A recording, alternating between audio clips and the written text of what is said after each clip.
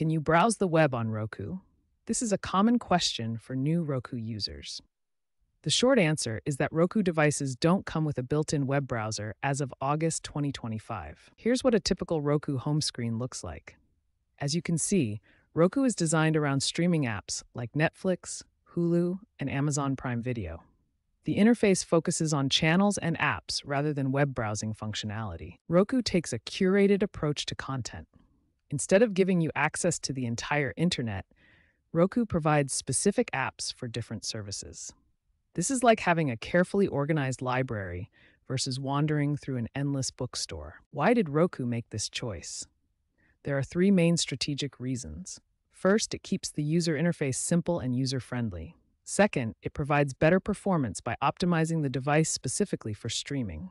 Third, it allows Roku to maintain content control and provide a curated experience. There are also technical reasons why Roku doesn't support web browsing well.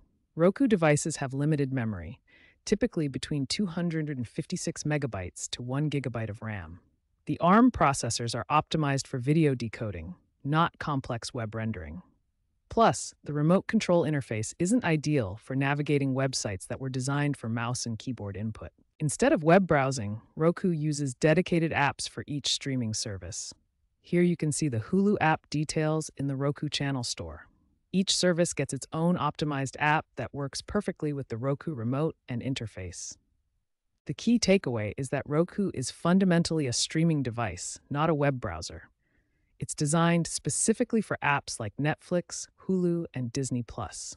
This is a strategic choice by Roku to maintain simplicity and optimal performance. However, if you absolutely need web access, there are some workarounds available, though they come with significant limitations.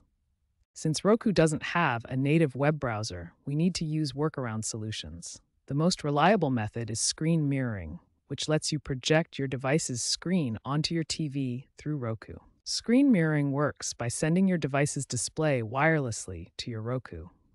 This gives you full web browsing capability since you're actually using your phone, tablet, or computer's browser. For Android devices, casting is built right into the system, most Android phones and tablets can cast directly to Roku without installing additional apps. iPhone and iPad users can use Apple AirPlay on newer Roku models.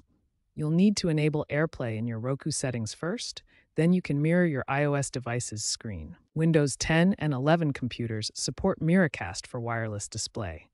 You can also cast specific browser tabs using Google Chrome's built in casting feature. If you prefer to browse directly on your Roku, there are third party browsers available in the Roku Channel Store. However, these come with significant limitations. The two main browser options are Web Browser X and PopPrism Web Browser. Web Browser X is more popular, but both have similar limitations due to Roku's hardware constraints. These third party browsers face serious technical limitations. Roku devices have limited processing power and memory, making them struggle with modern websites that require advanced JavaScript or multimedia content. To put this in perspective, third party browsers on Roku load pages 15 to 30 seconds slower than your phone, crash about 35% of the time, and only work properly with 45% of modern websites. For the best web browsing experience on your TV, stick with screen mirroring from your smartphone, tablet, or computer. It's faster, more reliable, and gives you access to the full web without limitations. Remember these key points.